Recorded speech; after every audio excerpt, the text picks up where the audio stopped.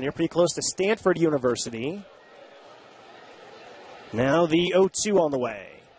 That's hit high. That one's deep. That one is long gone. Number 30 of the season, Joc Pederson getting closer and closer to that 30 30 mark. Jumps on an 0 2 pitch, and the Isotopes have a 2 1 lead. No doubt about number 30 for Joc.